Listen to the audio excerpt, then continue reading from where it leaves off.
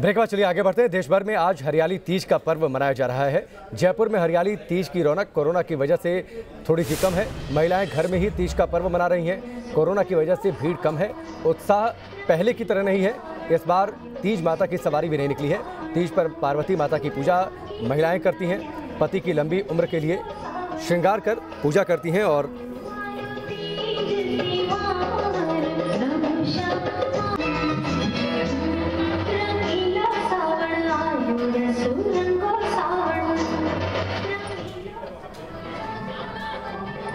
दो तस्वीरें आपकी टेलीविज़न स्क्रीन पर है। पहली तस्वीर जयपुर की है। हर बार तीज की रौनक होती है।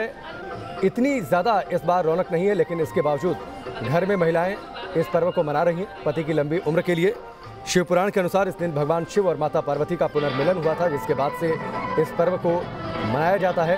एक परंपरा सी चल पड़ी और इस दिन को माता पार्वती ने वरदान दिया था कि अगर कोई सुहागिन इस दिन पूजा करती है विधि विधान से तो पति की लंबी उम्र होती है। कोरोना की वजह से इस बार उत्साह कम है, लेकिन महिलाओं के बीच जज्बे की कोई कमी नहीं। जयपुर से हमारे संवाददाता लाल सिंह फौजदार ने कुछ महिलाओं से बातचीत की कि इस बार कितनी अलग है हरियाली थी। सुनिए।